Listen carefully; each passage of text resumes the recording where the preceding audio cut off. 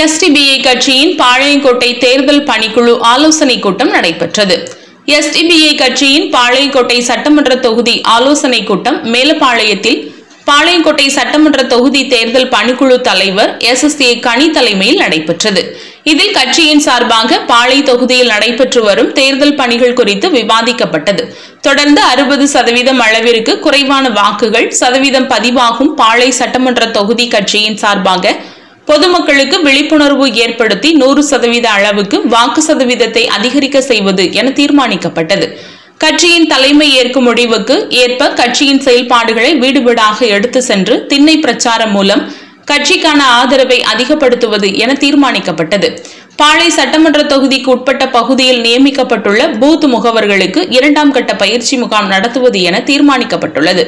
இந்நிகழ்ச்சியில் பாளை சட்டமன்ற தொகுதி தேர்தல் பணிக்குழு உறுப்பினர்கள் Shahul Hameed Usmani Hayat Mohammed Burkit Alauddin Minnatullah Salimdeen O M S Meeran உட்பட நிர்வாகிகள் கலந்து கொண்டனர். நிகழ்ச்சியின் நிறைவாக தேர்தல் பணிக்குழு செயலாளர் புகாரி சேட் நன்றி கூறினார்.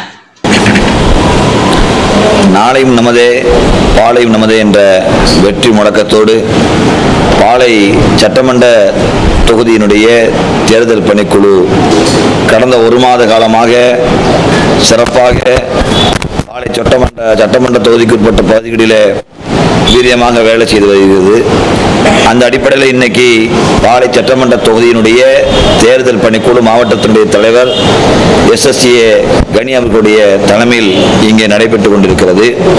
இந்த தேர்தல் பணிக்குழு கூட்டத்தில் பல்வேறு தேவைகளை வினாவாக்கி கேள்வி எழுப்பி அங்கே அதற்கான தீர்மானங்கள் நிறைவேற்றப்பட்டது. அதன் அடிப்படையில் எதிர்வரக்கூடிய ரெண்டாயிரத்தி இருபத்தி ஒன்றாம் ஆண்டு சட்டமன்ற தேர்தலை எஸ்டிபிஐ கட்சி எப்படி எதிர்கொள்ளப் போகிறது? இந்த தொகுதிக்குட்பட்ட வாக்காளர்களை எஸ்டிபிஐ கட்சிக்கு வாக்கு செலுத்துவதற்கான வியூகங்கள் இங்கே கேள்வி எழுப்பி அதற்கான விவாதங்கள் அமைத்து அதற்கான தீர்மானங்கள் நிறைவேற்றப்பட்டது. எனவே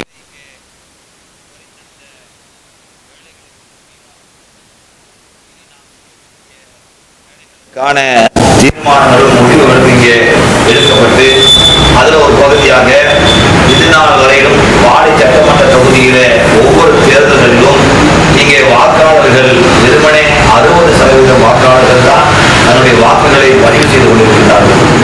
இந்திய ஜனநாயக நாட்டிலே வாக்குரிமை என்பது அது ரொம்ப முக்கியமானது.